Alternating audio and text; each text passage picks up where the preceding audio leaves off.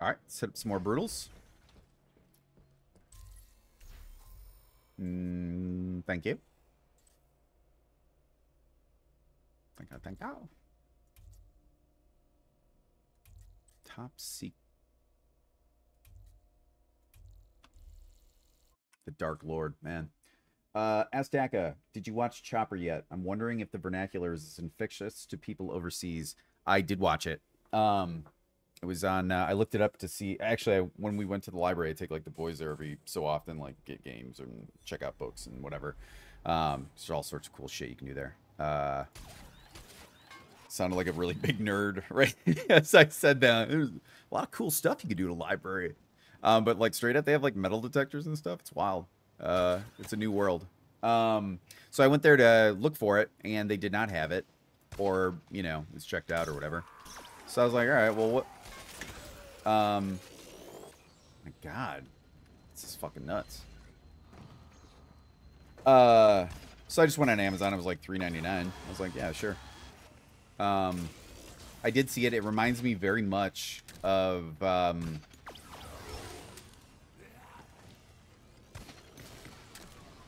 Sorry. Uh, Sir Dodge a lot here. Uh, is it Charles Bronson? The notorious UK guy who's like the most dangerous prisoner? And what was it? I'm right into it, dude. What are you doing?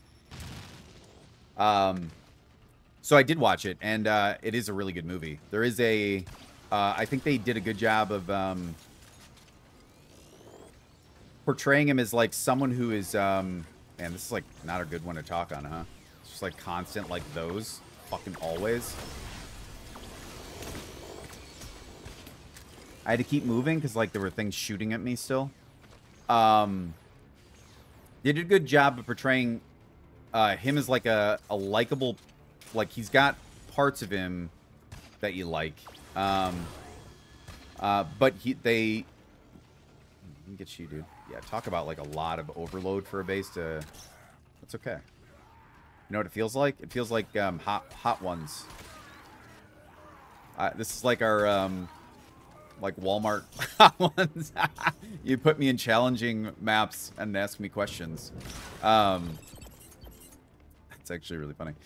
Uh, they did a good job portraying him as having some traits that you like, um, but also like he's like a deeply fucked up and like damaged person. Like you know, and and they kind of I think allude to that with the dad being kind of like encouraging of his like I don't know like aggression right? Because like at one point, well, I don't, I don't want to ruin it for anybody. Hopefully, if you don't want to um, hear about Chopper, the Australian like most dangerous prisoner, um, just skip this episode. You're not missing anything. I'm not going to do anything funny at all, and I won't win. Fuck. Okay, don't go down there yet. Uh, now go down. Okay. Uh, so yeah, go ahead and skip. And then uh, for everyone else, there we go. Okay, I got to focus a little bit. You know, him him being kind of loyal, but also, you know, he doesn't know how to like form relationships because he's a fucking broken person and uh, you know, like so now that all the people have left that are clearly don't want to hear any more about the movie. Um, you know, his dad like asking him about the the guy killed in the parking lot, and uh, you know, when it's kind of alluded to that um, he did it, or at least he thinks his son did it. He's kind of proud of him, and you're like, dude, what you know, what the fuck is wrong with you?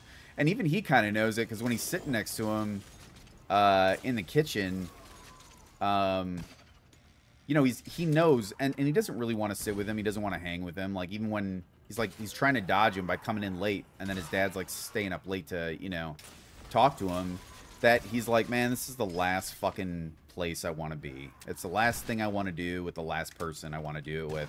And you're like okay well that's you know that's kind of your well we kind of know why he's fucked up right? Because like if he never learned how to act or that's who he learned it from of course he's gonna be kind of fucked up. And you know depending on your other variables like people fucking with you or where you grew up or how affluent you are. I mean, those all play factors. And yeah, it's, you know, some people just snap easier and some people, you know, you accidentally sharpen them into wolves and then you're fucked.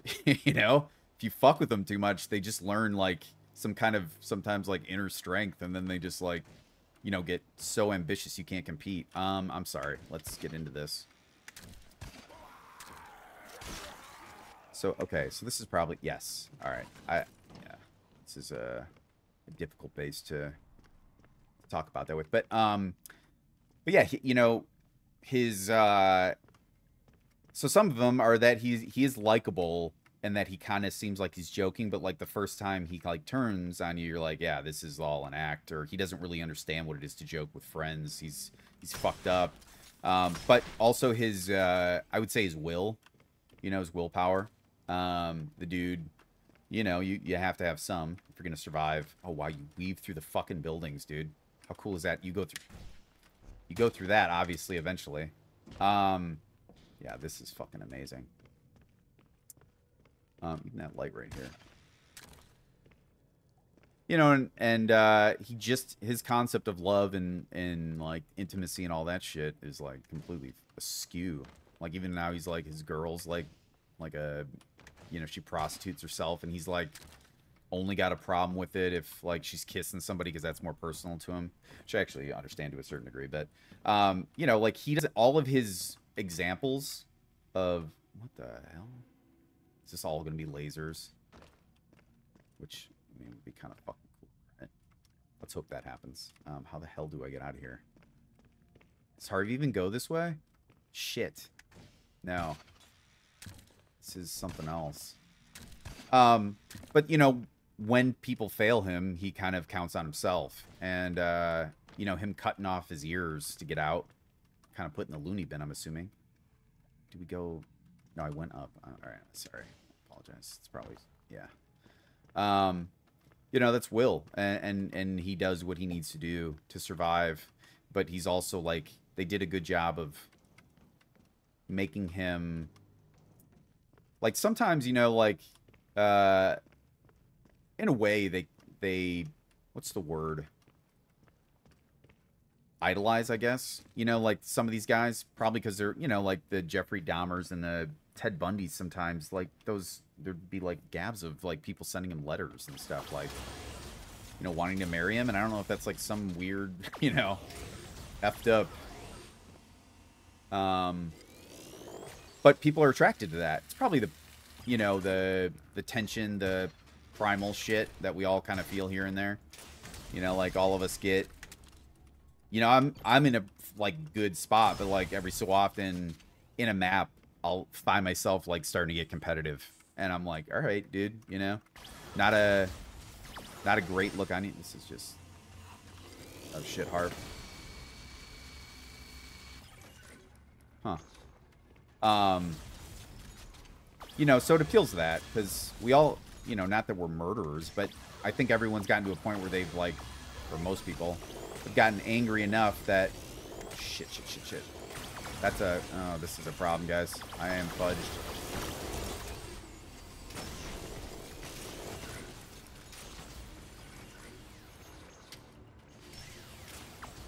Holy crap, man. Ha ha ha ha.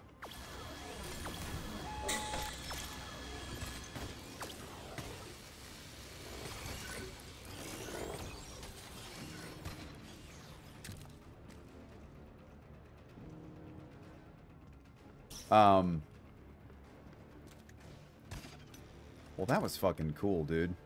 That is a beautiful goddamn base. Um, yeah, it's just they did a really good job with that. I know you were asking if if some of the things he said, I would say no, probably not. A lot of those things like like there's so much slang and like shit that's created daily here in America. Like you just have to infer with context a lot of the time. Like, you know, there's some older people. I guess I suppose sometimes you'll hear the like word boomer, um, but where they they can't really read the context because they didn't use, or maybe they just aren't familiar with the new stuff. I don't know, but some things you can just figure out even though you've like only heard it for the first time, you know, uh, based on context. And uh, so there isn't a whole lot of those. Wicked minion. Oh, even Juddo's got a nemesis now. I'll go. I'll go hit him up for you. Um. So I, but also Australians in general, with I think the demeanor that they're either they're at least portrayed um, on TV, which is of course always accurate. Um, it always seems like their humor is uh, a little closer to mine, where it's like, um, like for a long time, um, when people would come into town and we meet them, we'd always like make up stories about Oh, you know what? I realize I can't tell the story without giving away where I live. Well, all right. We'll, we'll skip that one. Um, what can I... I, I, I think it seems like many Australians are born with uh, not a whole lot of... Um, I, I don't want to say like seriousness. That's the wrong word. Like they're they're just like easygoing and like you know, everything's kind of funny, even like kind of fucked up situations. And uh, I think I that resonates with me. Uh, so I think you know, in in the media I've consumed of Australians, I always am like kind of excited because they're just kind of like they're. It's a weird combo of like, uh, you know, always joking. Things aren't taken too seriously, um, and everyone's kind of in on the joke. You know, a little bit and so it's really not offensive. Where in some, you know, maybe other double fire that is unexpected. Well done. But you know, no matter however you gen like generalize someone, it's you shouldn't, even if it's a good. So uh, you know, of course, there's there's every type of person and every type of race. You know, um, and you can't just be like, oh well, you know, yeah, all the Australians are like really funny and just laid back of course, you know, because that's just, you know, that's not true. And every, you know, every uh, background and ethnicity is is that, you know, somewhere. Um, but I think you guys also have really funny words uh, that don't die, please. Um, like, and I most of I don't I don't know any of them off the top, but there are there's like a comedian I think Steve Hofstetter who works with an Australian comedian, and they're doing like a bit, and uh, he's got to guess what the Australian, you know, terminology is.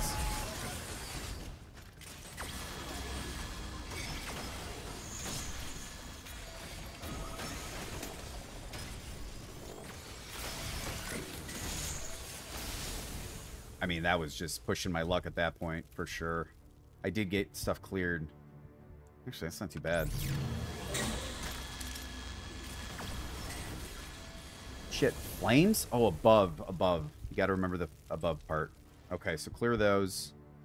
What's dangerous on me? Nothing at the moment. Oh, and you got one laser above. Easily handled, and then I think you're safe. Not... You, sh you should have taken more time to read the room. That was, uh, that's my mistake there for sure.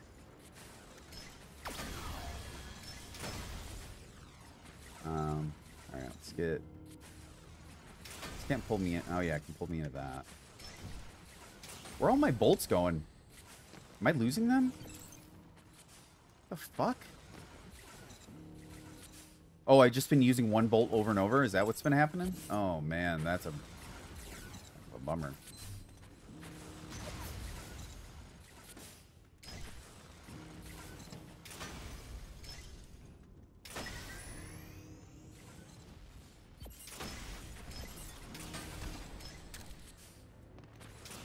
Good room, a fun high stress room. You know, like it. It's not as dangerous once you kind of see everything, but in the moment, it's it's a lot to assess. Um. So it's pretty cool in that regard. Yeah, that's pretty cool. um, but I don't know. So, in answer to your question in a very long-winded way, um, I think it's probably it'd probably get drowned out in the amount of slang and things you know we say here, but I think it would be well received, if that makes sense. Like if you threw it out there and it became a thing, it, it, it might become a thing, just because it's like funny, Uh, that was artistic, I'd say. Oh, it was ingenious. I got you. And it was brutal. You gave it a fun and artistic. You dummy. Almost there. It's funny as you guys are to see me hit masters before... oh, man. These videos are to be all out of order. It's okay. Maybe I'll record another um, uh, Angry Salt Mine. See who's been in there. That'd be cool. Toxic Melon. I think that's a penis. Perhaps. Just to get me in. just throw a penis on it. They'll come into my kill box. Oh, I might have to. Uh, these are looking pretty cool. Oh, Florida Man. He's got another one up. Muad'Dib. Dune Lover. Which should also be a really funny, funny name. Uh, this... No, I'm not falling for these walls anymore. You don't throw anything behind them. Uh, yeah, we're going to have to do this one, I do believe. Oh, that's funny. Sorry, I got way off topic. Um, I know you were just like, hey, do you think any of those would stick? And I like started talking about the movie, but um, it was a cool movie, and I don't think you would have like been like, hey, check it out if you didn't think it was cool and you didn't want me to see it. So, um, it, it it's a yeah, it's kind of a he's a sad dude. You know, he's deeply insecure too, but like he's a tough he's a tough asshole. You know, he's um, I'm you know everything's exaggerated to a degree, but I also think like you know, it's possible he was stabbed as many times as he was in that single inter interaction, but, you know, it is wild that managed to miss some vital parts and whatever. And that blade looked pretty long. You know, it wasn't like an inch knife where you're not necessarily hitting vitals. Um, but, yeah, just a weird, like, sad movie, but, like, mixed in with, like, an entertaining character. So, like, it was a good movie you know, no one's necessarily looking for like, oh, well, this is sad as fuck. Oh, yeah, you see that bounce? It's cool. Anyways, started blasting. Brought my demo equipment. Enjoy. Demoing all you fools. Sniped.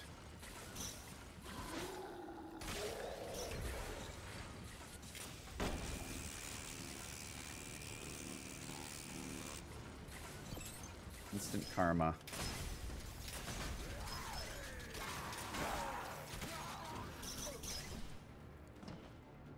Crazy ass room, dude.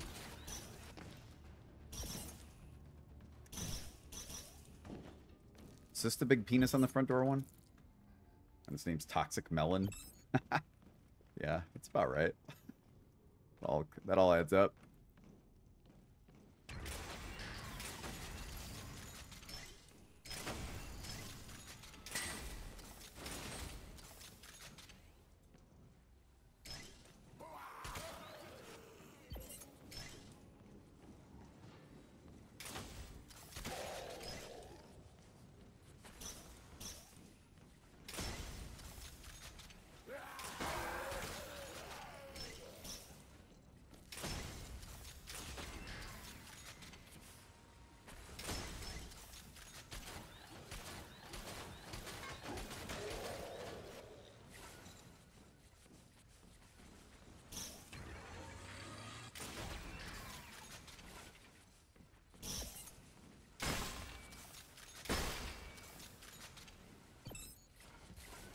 You just ever want to show someone like the utmost disrespect? Shoot their guy's pants off. I hate it. These pants are expensive out here. They cost scrap.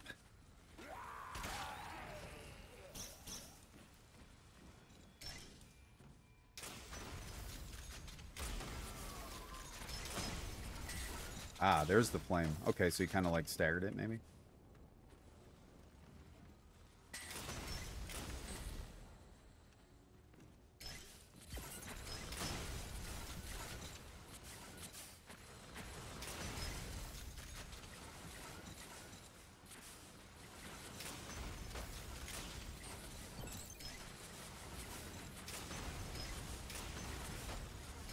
God. It's one of those you can like zip right through and like be fine. You'd be kind of, oh my god, it might be.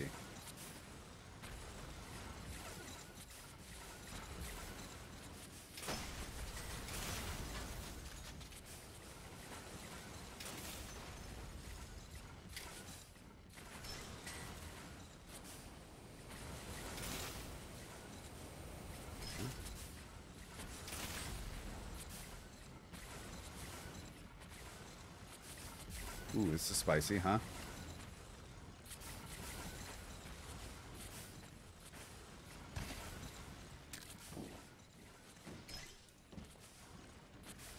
Less spicy.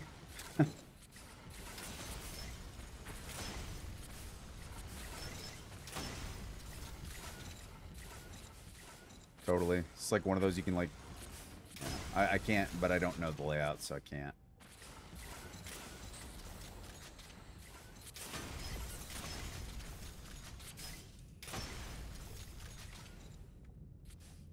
It's like... What is that, unrelenting? Oh shit, that's a problem. That was so dumb of me. Why did I do that, dude? It's like messed up.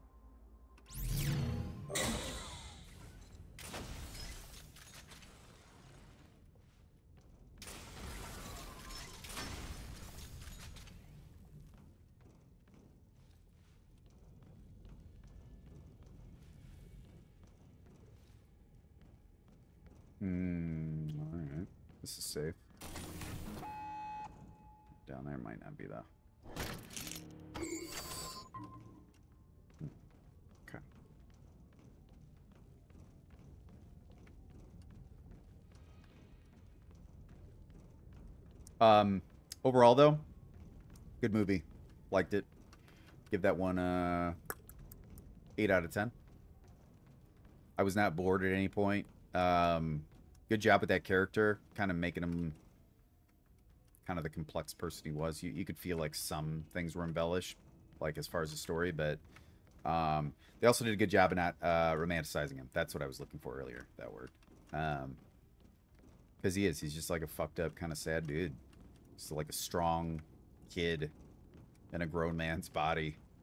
And uh, that kind of sucks because that kid is like in a very hostile environment and never fucking learned to like live in any kind of capacity that's probably worth living because the way he does is like, you know, everything is fear, respect. Like that's just exhausting and, and defending, you know, to do constantly. You should always do it, but like you should never be in a situation where like every day you wake up, you know, every second you're around people is like, if I fuck up or like show weakness, some you know, someone's gonna come in, just take advantage of it, whatever capacity it is. Pretty cool. I liked it. Missed the tombs, but that's okay. Toxic melon. And and this is great. Let's do artistic for that. Boom.